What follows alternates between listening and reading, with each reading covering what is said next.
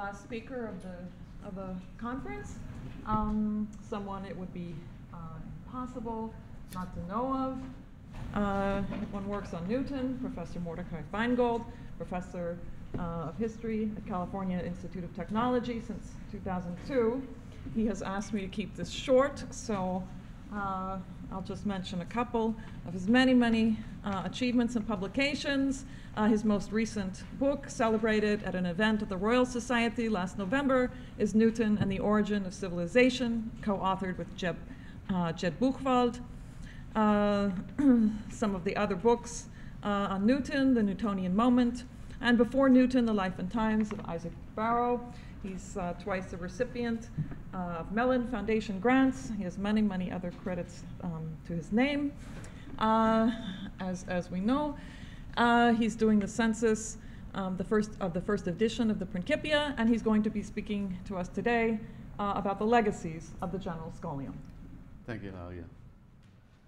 I would like to thank first to the four S's that brought us here, Steve, Stefan, Scott, and the Scholium. uh, when uh, Steve asked me to speak, I wanted to talk about polemics in Newton's general scholiums because it suits my personality better. But Steve refused and he gave me legacies. So, of course, legacies is in the plural. And in the final version, there will, there will be many legacies, uh, which include natural religion, experimental philosophy, methodology, modesty, and so on and so forth. However, since I cannot speak in 32 minutes on all of them, I decided to focus on one.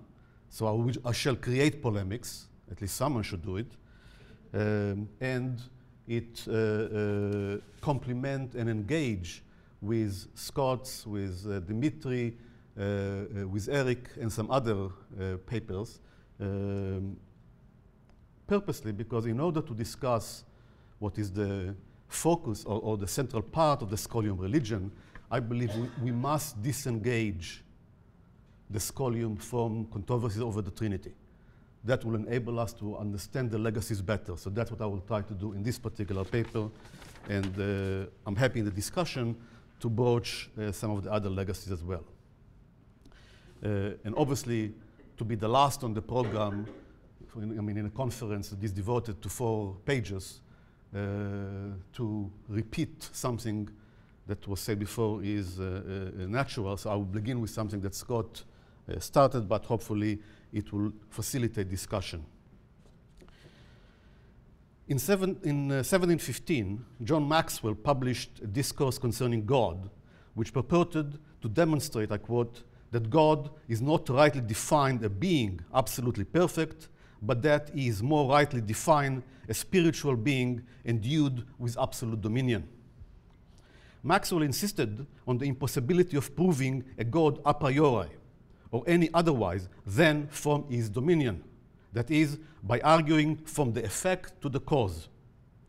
Grounding himself on the 20th query of the Optice, as well as on proposition 6 of book 3 of the Principia, Maxwell argued that the motions of the planets and comets demonstrated the existence of vacuum, from which it followed a priori that there is a self-existent being which is not matter, and that this being is eternal, omnipresent, similar, and unchangeable by the necessary connection between self-existence of these attributes.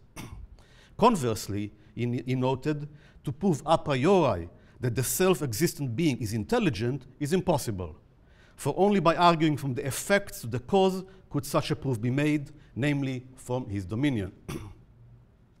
Maxwell considered at some length the precise nature of God's providence and dominion, drawing on a range of authorities, including Samuel Clarke, John Pearson, Ralph Cudworth, Richard Baxter, and William Sherlock, all of them in order to substantiate the claim that pagans and Jews, Muslims and Christians were all united in ascribing God's name to governing providence and not to a being considered as absolutely perfect. Having further pondered the various meanings of God's name, Maxwell determined this attribute is in a sense coincident with Pantocrator, i.e., universal emperor, and consequently, the name or attribute of God, Pantocrator, is wrongly translated in Scripture as well as in the Creed as Almighty. This discussion prompted Maxwell to draw several conclusions, including that whosoever defines God as a being absolutely perfect, as did Descartes, does in consequence promote atheism. Conversely, and necessarily, any who deny the governing providence of the self existing being will come into the definition of God as a being absolutely perfect. And then, with Spinoza, they will explain that away so as to mean nothing else by it than the material world.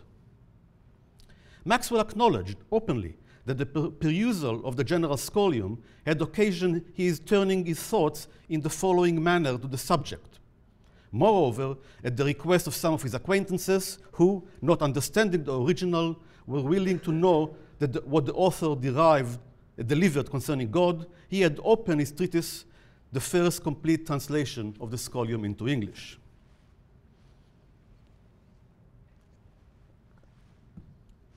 I dwelled at some length on the discourse, not only because, to borrow David Hume's phrase, it fell dead born from the press, and has been ignored ever since. Rather, the discourse attests to the broad interest generated by the publication of the General Scholium. Beyond its scientific import, the Scholium furnished the first public pronouncement regarding the theological and metaphysical foundations of Newtonian natural philosophy. Veritable news indeed.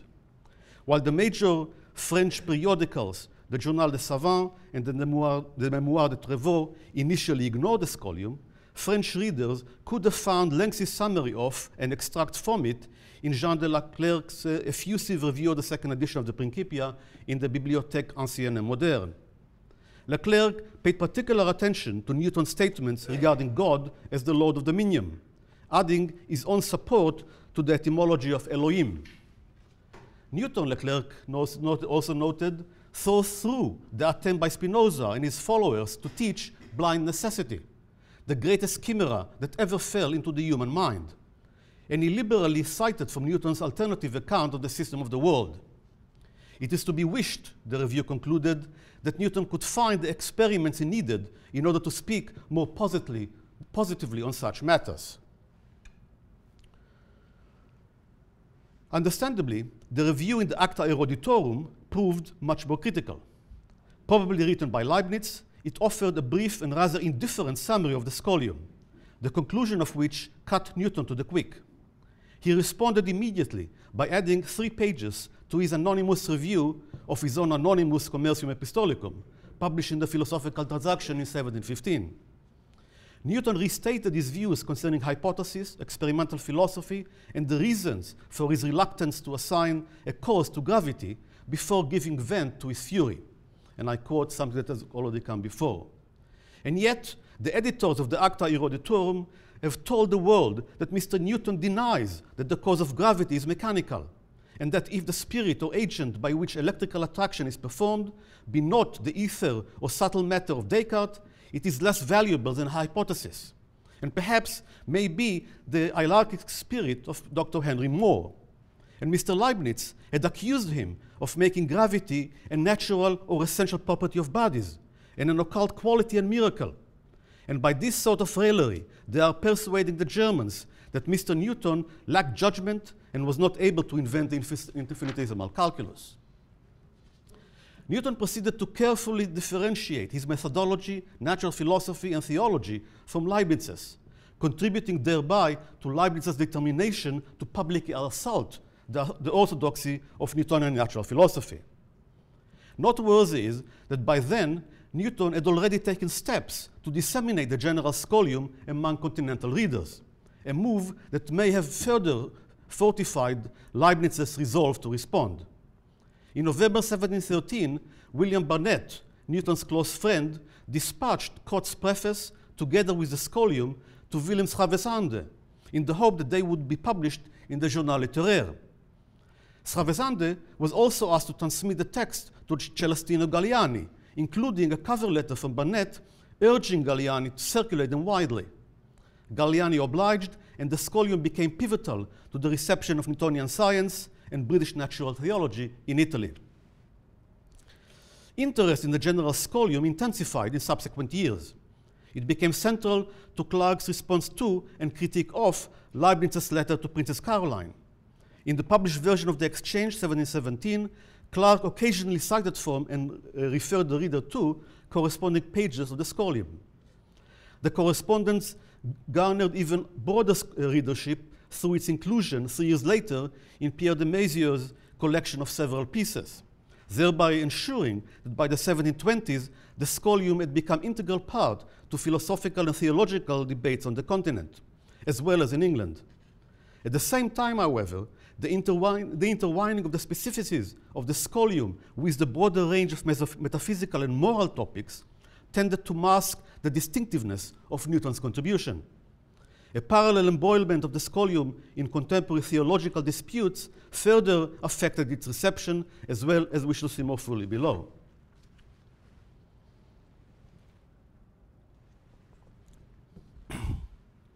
John Maxwell then exhibited shrewd foresight in attempting to capitalize on the publication of the scholium. Whether he hoped to carry favor with Newton or gain admission to the Royal Society cannot be determined at this stage. Whatever the motivation, Maxwell's treatise appeared at an inopportune moment. Within months, the Leibniz-Clarke correspondence subsumed the energy of the Newtonians, while the raging debate of the Trinity discouraged others from publicly discussing philosophical issues that ostensibly border on heterodoxy. Joseph Butler, for example. Before turning to these debates and assessing the impact on the future reception of the scholium, however, I would like to reflect on the context that gave, gave rise to the scholium and the originality of its theology. As noted above, Maxwell grounded his discussion of God's name and dominion on a variety of orthodox sources, in addition to the scholium. And such eclecticism should caution us against assuming that Newton relied on anti Trinitarian or Socinian sources. The matter of God and his attributes, in fact, had been prominent feature of theological discourses at least since the 1650s, especially in discussions of the, Apostle, the Apostles' Creed, the opening sentence of which reads, I believe in God the Father Almighty, maker of the heaven and earth. Two influential treatments of the Creed were made by Newton's older contemporaries at Trinity College, John Pearson and Isaac Barrow. And both of them have uh, uh, the, uh, the, creed in front of them. And Barrow actually has a whole sermon devoted to Pantocrator. But the scholium probably owed considerably more to a hitherto neglected source, uh, uh, Stefan mentioned it, Peter and, and uh, Scott in a previous article, uh, uh, uh, Peter King's The History of the Apostle Creed, written by Newton's friend Peter King. Newton, who owned the copy, would have found a lengthy discussion of the various expositions of the Creed by the early church fathers, leading up to the Nicene Creed. According to King, in response to the multiplication of deities by the early Christian heretics, the Creed mandated belief in one God, which, being understood relatively, signified that one and the same God is the Father Almighty, maker of heaven and earth. Basing himself on numerous authority, King argued that Pantocrator was the commonly used term to signify the Almighty in the early church. The term properly signified the universal dominion of God over all creatures and his providential regency and gubernation of them. Pantocrator may be considered as the dominion of God's infinite power and energy, by which he made the world of nothing and he needed no coexistent matter whereon to show the effi uh, efficacy. And I'll cut the rest. All of which led King to conclude that, uh, what, uh, uh, that by assenting to this term Almighty in this part of the Creed, it is thereby declared that the power of God is omnipotent, his dominion universal, and his essence infinite. It is unwise, of course, to attribute Newton's discussion of God and his attributes to any single author, however plausible, and I don't wish to belabor the point. Rather, in suggesting the need to consider a broader intellectual background to the ideas presented in this scholium, I also wish to point out the need to scrutinize more closely the immediate context for its composition. Newton embarked on the composition of the Scholium by January 1713, within months of the publication of Samuel Clarke's Scripture Doctrine of the Trinity. And the second edition of the Principia was published six months later. This publication proximity, amplified by the congruity between key notions in the Scholium and Clarke's book, naturally invited speculations regarding influence, or even a coordinated effort. Without denying such a possibility, it remains clear that the scholium intended to rebut not only Cartesian critics of the Principia, but especially Leibniz. As Alan Shapiro demonstrated, Newton resorted for the first time in his career to the term experimental philosophy in a concerted effort to defeat, uh, to defend the theory of gravity along with the scientific methodology. Similarly, his discussion of God intended in no small part to rebut Leibniz, Leibniz's position, expressed most recently in the Theodicy and in his correspondence with Nicholas Hartsoeker, and especially the concept of intelligentia supramundana.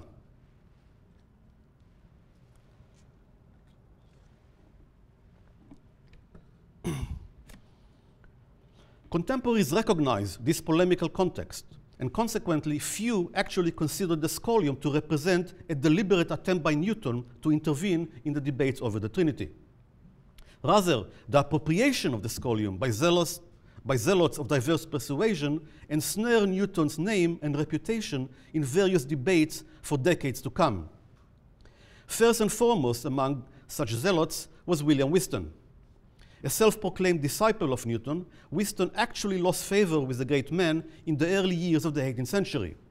First, on account of his imp uh, imprudent forays into prophecies, then, as a result of, his, of the boisterous manner in which Whiston opted to advertise his commitment to anti Trinitarianism, finally, and most importantly, because Whiston chose in 1711 and 1712 to publicly implicate Newton as a fellow traveler. Whiston retaliated within a week of the publication of the second edition of the Principia on, Ju in, on July 1, 1713, by rushing through the press a translation of the theological portion of the Scholium, printed as an appendix to his anti-Trinitarian three essays. Whiston prefaced the translation by informing the reader that the Scholium represented Newton's most serious and innermost thoughts regarding God himself, his unity, supremacy, dominion, and other attributes nay, to state the proper scriptural accepted, acceptation of the word God when applied to any other than the Supreme Being Himself, the mistake about which has long been of the most fatal importance. Finding the scholium not at all disagreeable to his present design, therefore, Whiston thought proper to conclude his essays with a translation thereof. In all likelihood, Whiston's translation drew John Edwards' attention to the scholium. This rigid Calvinist and stalwart opponent of each and every new scientific idea since the 1690s had fiercely battled Whiston's anti-Trinitarianism since 1711. No sooner had Samuel Clarke Scripture Doctrine of the Trinity published in 1712 that Edwards targeted the latter too.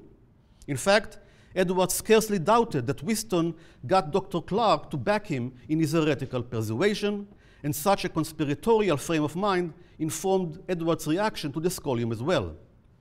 In a postscript, he added in 1714 to yet another attack on Clarke, just as he discovered Newton's scholium, Edwards charged that Newton and Clarke, having lately conferred notes together, as it is thought, it was decided that Newton would add his odd notions regarding the deity to the new edition of the Principia, and thereby appear in favor of those notions which Dr. Clarke had published.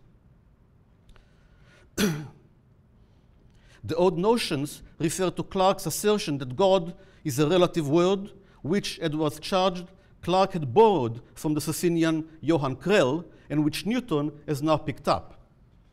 Expressing bewilderment at the meaning of Newton's conception of, of God dominion and how it related to Newton's attribution to God's body, to God the body, Edward suspected the influence of Spinoza's conception of the deity.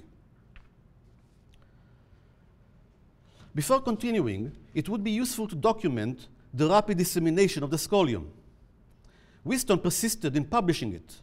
In 1717, he included a, a translation in the Astronomical Principles of Religion, and six years later, he placed it underneath a striking broadside engraving of his scheme of the solar system. In 1728, dissatisfied with the cursory manner in which the scholium had been treated in the view of Sir Isaac Newton's philosophy, Whiston urges author, Henry Pemberton, to, to, to append his own corollaries from Newton's philosophy and, and chronology to the book, but to no avail. Undaunted, Whiston published the corollaries himself using the same paper and size as Pemberton's and proceeded to advertise it as a work suited to be bound together with it. By then, the third edition of the Principia had been published with a revised version of the Scholium and with Motte's uh, English translation of the Principia following in 1729. A flurry of other partial translation and excerpts ensued. Ephraim Chambers' Cyclopedia of 1728 prominently featured the scholium along with a partial translation at the opening of the article God. In 1731, the Grub Street Journal printed a partial translation of the scholium under the provocative title The Newtonian Creed. Sardonically praising Pemberton's efforts to render the Principia more intelligible, the author of the article urged Pemberton to go further, furnishing clear and distinct notions of the Lord God, as well as explaining the import of the scholium's creed, evidently composed by Newton, he said, in imitation of St. Athanasius' creed, to convince the world that his religion was as much above that of the vulgar as his philosophy.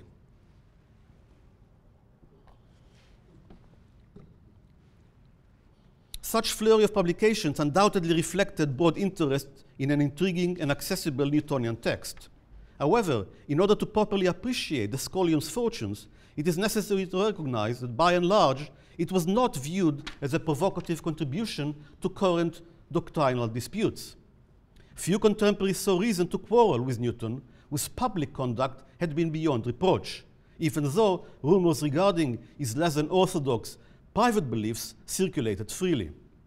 Furthermore, notwithstanding his intimacy with Samuel Clarke, Newton definitely remained aloof of the latter's religious activism, not to mention his displeasure with Whiston's far more belligerent polemics, a distancing that contemporary and later anti Trinitarian bitterly resented. With such a background in mind, we can return to the scholium's entanglement in the anti Trinitarian debates. In 1720, John Cumming, the Presbyterian minister of the Scottish Church in London, re responded to a letter by a co religionist, John Evans, who attempted to resolve amicably a serious conflict that raged among dissenting ministers over the extent to which plain scripture consequences are to be regarded as matter of revelation, and in particular, insofar as the doctrine of the Trinity is concerned. Cumming responded with a lengthy treatise, in the course of which he controverted, in one little footnote, Newton's notions regarding God's dominion. To the rebuke was incidental to his purpose, and as Evans noted in his rebuttal, Cumming lifted much of the critique from John Edwards without bothering to read the scholium. Had he done so, Evans argued, Cumming would have realized that Edwards quoted out of context when, when insinuating that Newton maintained uh, anthropomorphic notions regarding God.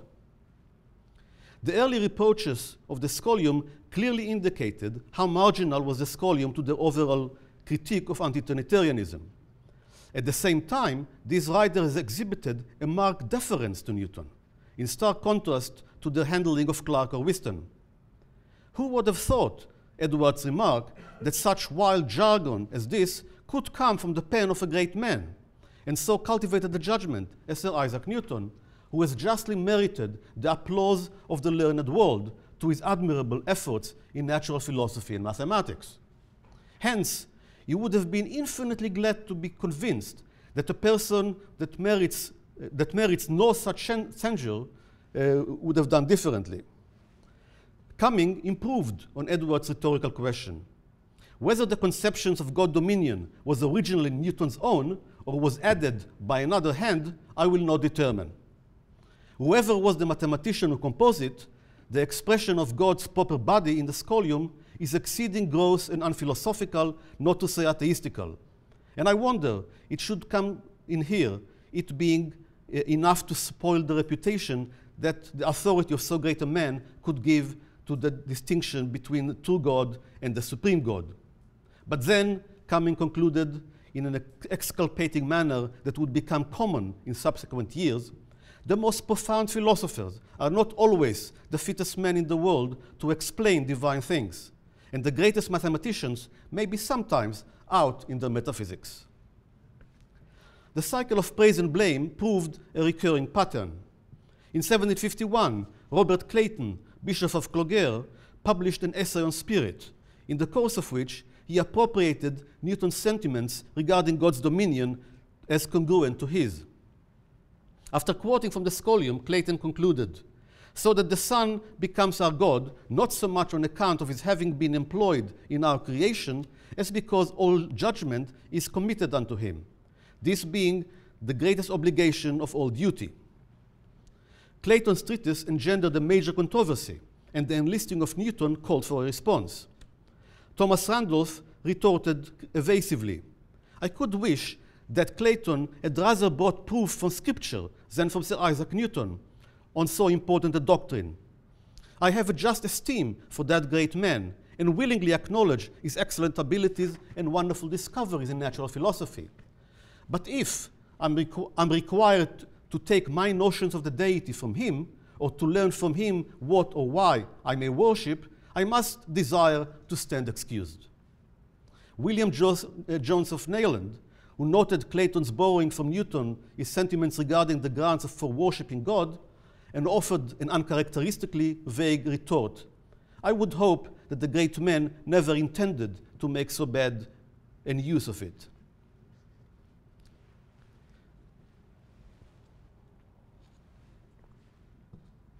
A generation later, it was Henry Taylor's turn to implicate the scholium in his massive defense of the Apollinarian heresy, the apology of Benjamin ben Mordecai, not me, to his friends for embracing Christianity.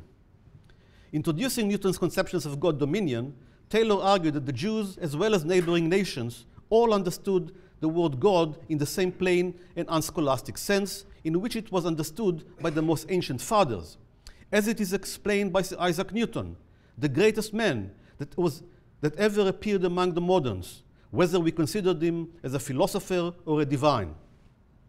One of Taylor's critics, John Whitaker, proved exceptionally harsh on Newton, who he believed had been the originator of the notions regarding Christ to have been only by a, an angel by nature and, and a god by investiture, which Clayton and Taylor had subsequently molded into form.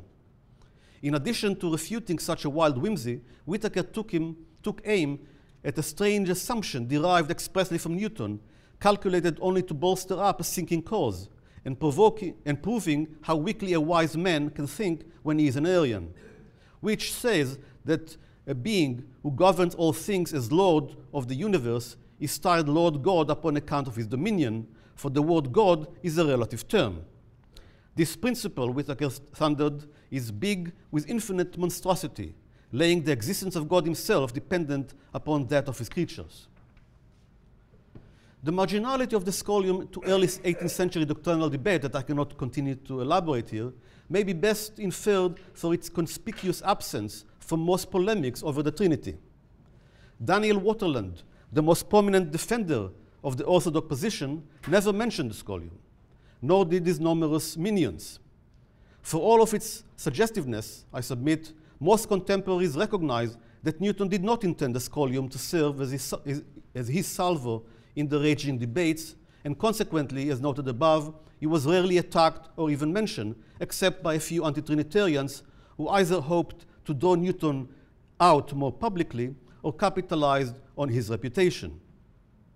In view of this, I would like to challenge the received view that contemporary readers immediately recognize the precise concordance between the the 17th century uh, 13 Principia and Clarke scripture doctrine, and that they reacted accordingly.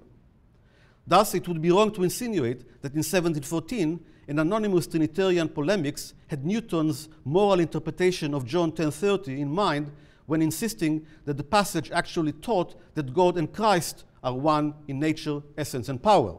For the author expressly targeted Whiston here and elsewhere in the pamphlet. Likewise, when William Stephens derided eight years later those who have placed the unity of the Godhead not as it ought to have been as a unity of substance, but in a unity of monarchy and government, he explicitly identified his opponent by citing at length, at length from Clarke's scripture doctrine. If Newton was on his mind, he certainly did not mention him, nor did he have to. For the matter at hand, Clarke's writing furnished far more than could be found in the scholium more fully documented, more amply articulated, as well as openly and forcefully challenging the Trinitarian doctrine. I should not be understood to mean that contemporaries did not read or comment on the metaphysics of the scholium. They certainly did, and I shall address this particular legacy in the final version. I only wish to distinguish such discussion from doctrinal debates over the Trinity, notwithstanding the obvious overlap between the two domains. Contemporaries, in other words, would have agreed with Newton's pronouncement in the Scholium. To treat God from phenomena is certainly part of experimental philosophy. Had they been privy to Newton's private opinion, religion and philosophy are to preserve distinct, an opinion Newton considered adding to a subsequent edition of the Scholium, most would have acquiesced as well, even if grudgingly. Consider John Jackson. This champion of Clarke intimated to the latter in January 1716 uh, of his finding Newton's conception of the true notion of God to be exactly agreeable to Clarke's scripture doctrine. Yet, when Jackson published later that year another spirited defense of Clarke's anti Trinitarianism, he saw no reason to cite this scholium. Conversely, however, when, when Clarke published his, uh, in the following year his correspondence with Leibniz, he had no qualms in liberally availing himself of the scholium in his notes. To conclude,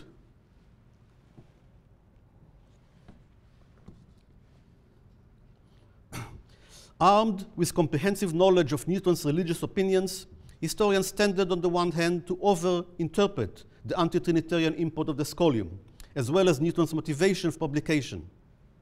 On the other hand, they mistakenly assumed that contemporaries who had no access to Newton's papers nonetheless recognized the magnitude of Newton heresy in the Scholium. Indeed, it is even been argued that at least some contemporaries reckon the Principia to be even more pernicious than Newton's posthumous religious publication had been.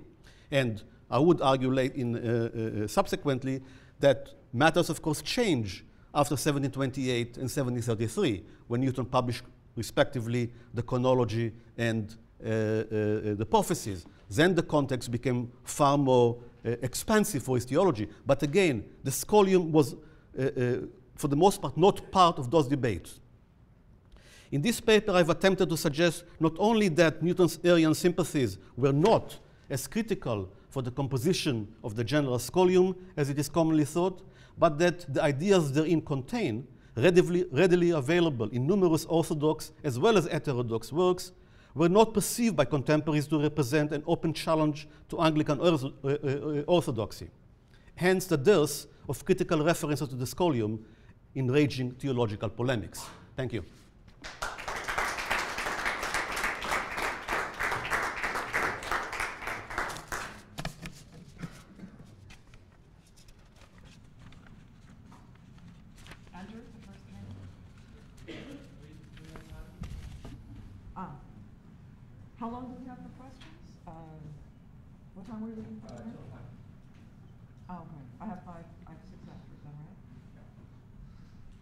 Okay, thank you. Um, that was incredibly interesting. I think we might be converging on a view amongst the historians and philosophers to echo something that Scott mentioned yesterday. So tell me what you think of this. My current view, which I didn't have when I landed in Halifax a few days ago, is that perhaps ironically, given what we've often thought over the years, and I think you're right about this, the general scholium even the passages that we take to be, let's just say they're about the divine, uh, was not theologically questionable from the point of view of many of Newton's contemporaries.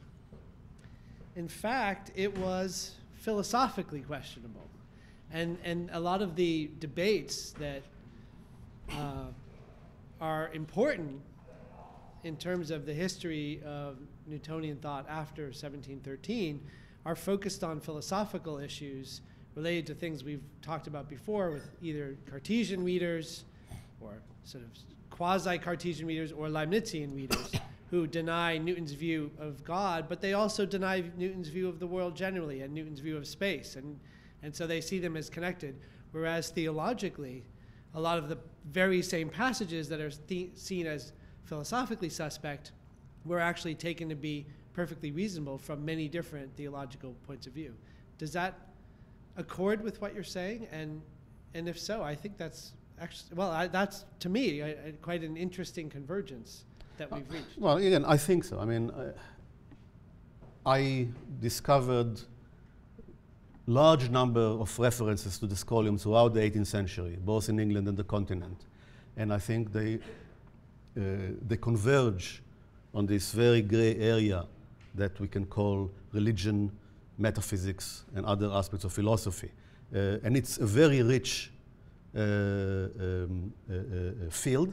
And I think what one of the things that I'm trying to do is to show how we need to look at it in terms of time. Things are ha happening fast, and you know, if we just kind of extract citation, we will not understand the dynamics of the, uh, uh, of the debates.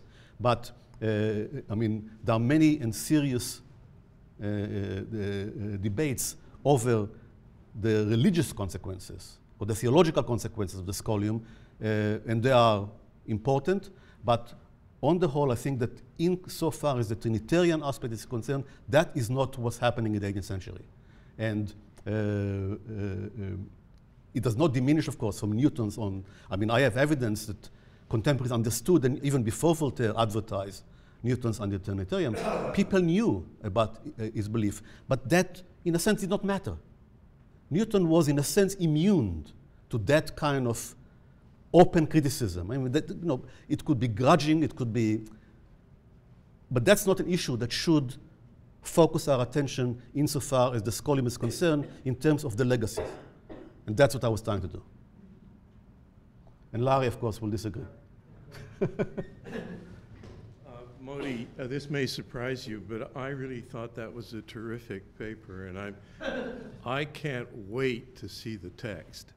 Um, but I was quite surprised to hear you say that the received view was that the general scholium was the result of Samuel Clarke, and if that's indeed the case, I'm extremely gratified to hear it. S- say it again? Um, Sorry. However, um, uh, your point about not relying on anti-Trinitarianism, I, th- I think you, I think you have much to say. It's absolutely correct with regard to Whiston. I, I, uh, Whiston is, for a lot of different reasons, a bit of a suspicious character, and he outlasts everybody anyway. So there's there's there's, there's an argument to be made there. Uh, one point, though, I think, well, two perhaps, where I think we might have a difference.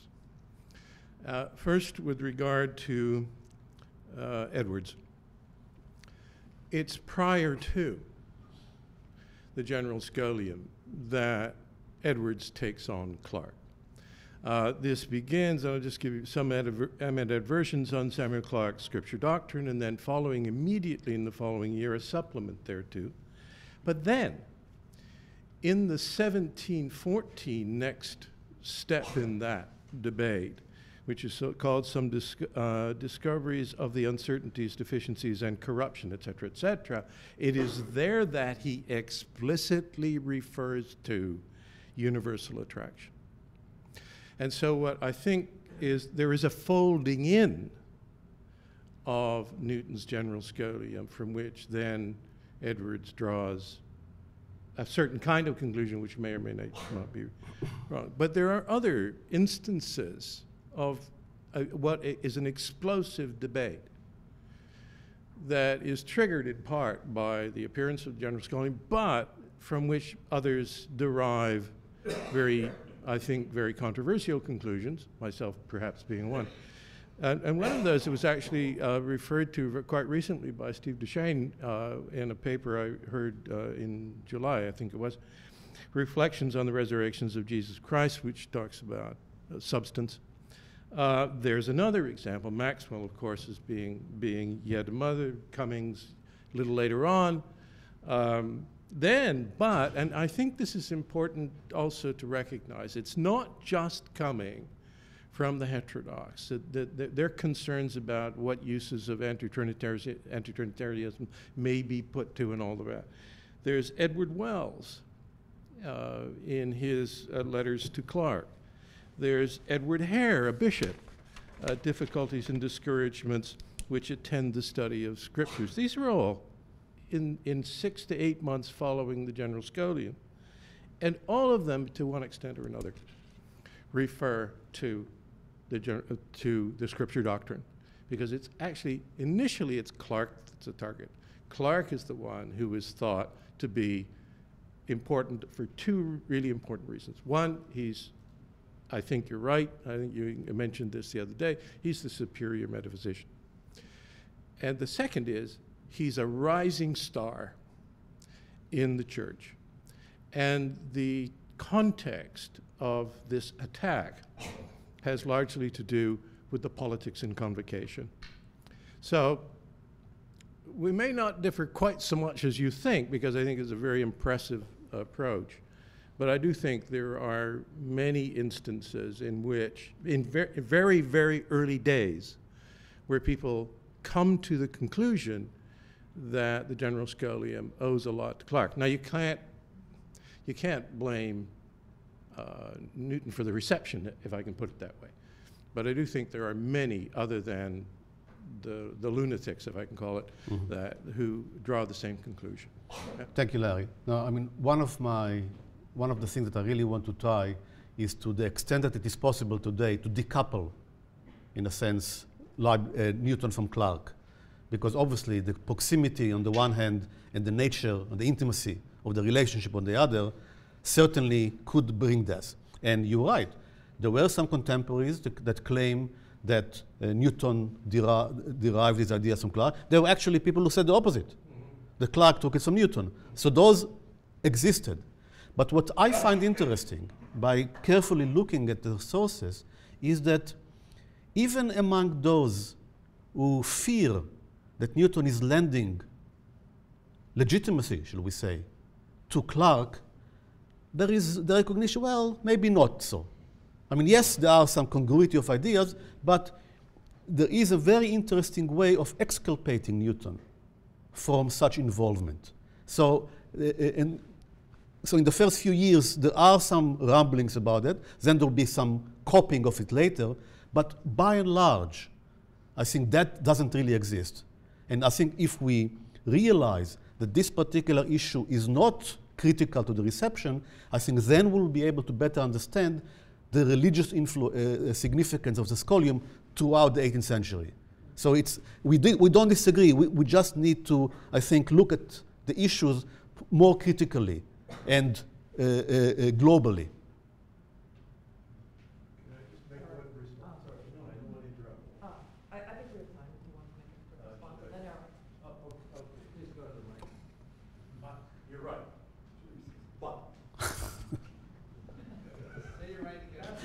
Yeah.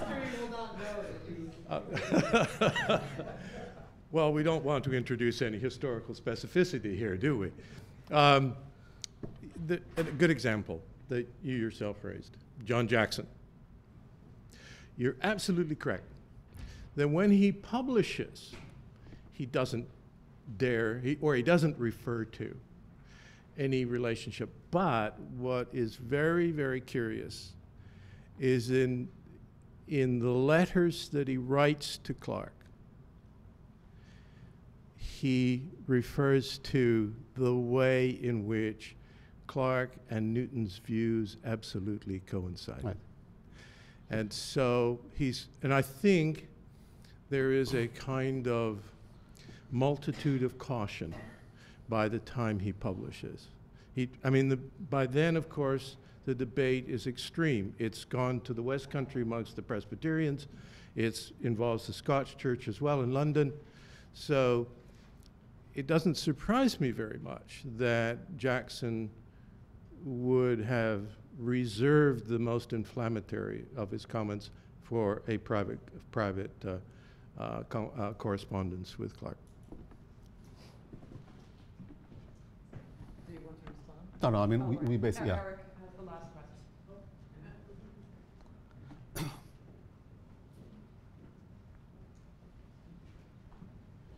Um, Thank you for a wonderful paper, and I learned a lot from it. Um, um, I, I don't feel I was party to the dispute on their hands. I kind of witnessed great boxing match from my point of view.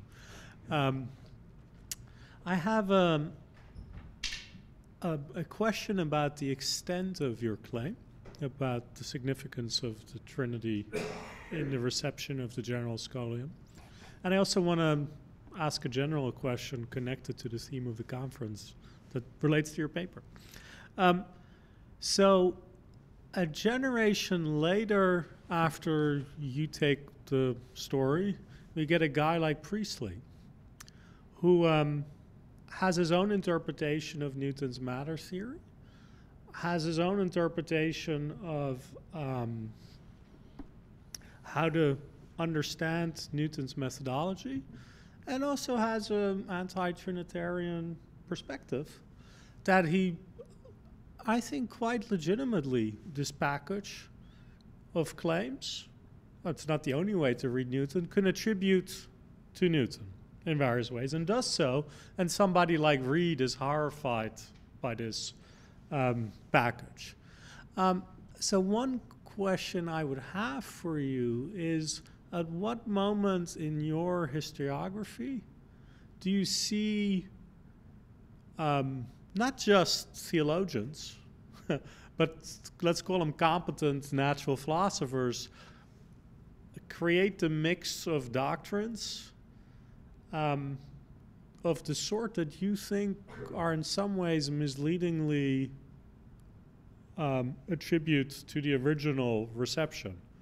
Because I do think that somewhere in the 18th century that starts to happen. Um, my second question is really unrelated, but I figure I might, might as well ask. Um, Voltaire um, famously says that um, the General Scholium is his metaphysical appendix and implies rather quickly that to understand the metaphysics of the Principia, we should not really focus on the General Scholium. We should not read Clarke. We should read Locke. So, um, to me, this is like the missing chapter of this whole conference. And since you're, I guess, assigned part of that in your paper, I would love to hear something about how you think of that transition from, I guess, our shared contextual approach, and somehow that Voltaire manages to very dramatically shift not alone, of course, but the whole reception of this stuff. I figured that would also be a nice uh, way to conclude the conference. So I thank, give it to you. Thank you, Eric. Well, let me start with Voltaire. Uh, of course, you're right, but this is the late Voltaire. In 1733, when Voltaire thought to publish the first edition of the, the, uh, uh, the summary of Newtonian philosophy, he intended, just like Newton, to add final chapter on metaphysics. And that is the first chapter, we presume, of metaphysics of, of Monsieur Newton. And that is just the scholium. He was not allowed to publish it, and then he reworked it, and then came uh, the kind of much broader view that, that you mentioned, which strengthened my argument regarding the need to understand how quickly things change. By 1738 and 1740, a great deal happened. For example, I mean, Scott mentioned a very interesting Warburton uh, things apropos Pope's essay on man. When Pope published the essay, which is based, based to a large part on Shaftesbury, there was a huge controversy about the irreligiosity of both individuals. So uh, in the in fourth book of the Dunciad, suddenly the scholium is invoked as showing uh, Pope's uh, uh, uh pauper orthodoxy as opposed to Shaftesbury. So again, and that's all, it all happens because Crousaz attacked the essay on man. So we see kind of constant infiltration. You know, it's, it happened day by day almost between the continent, within England, and that forces uh, uh, uh, quick changes. So in order to understand what happens, I think we need to see kind of to start at point of origination and slowly move forward in the century to realize the richness and the complexity. Which leads to the second question.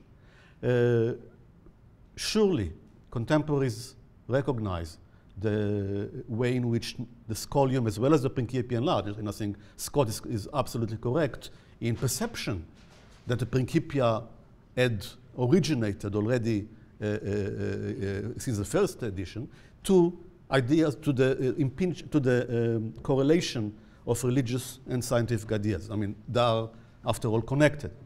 Uh, And I think that, again, if we look at it sequentially, we realize that issues like matter and spirit, uh, even before Priestley, I mean, look at someone like, uh, like uh, Cadwallader Colden, when he kind of brings in his, his, his bombshell, you know, just like, I mean, it's, it's kind of almost like Toland. I mean, he's told in the colonies, don't publish it, it's stupid. And he goes ahead and publishes it. And it, it creates, again, implicating Newton in where Newton would not have been like to do.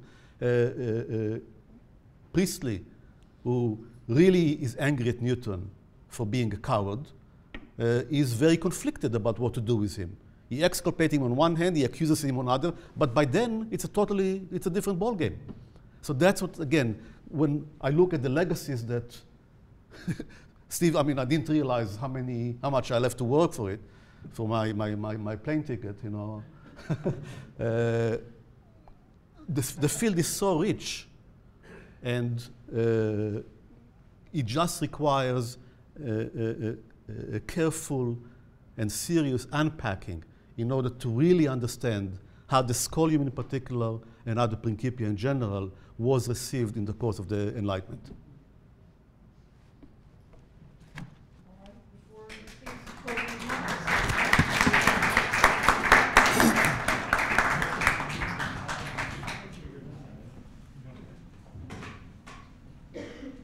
I just have a couple of final uh, remarks. Um, we're going to be, those involved in the um, uh, delegates and those involved in uh, what we hope will be a publication. Uh, we're going to meet uh, across the hallway in uh, the Frazee room. this will be an in-camera session without a camera.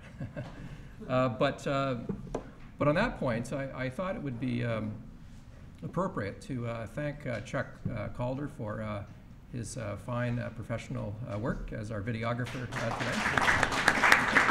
today.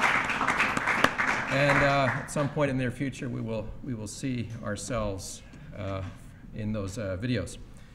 so I just wanted to offer a couple observations. one, of the, one of them is I've been impressed by uh, what I think are, everyone will agree, are the benefits of the collaboration uh, that we uh, have engaged in over the last uh, two days.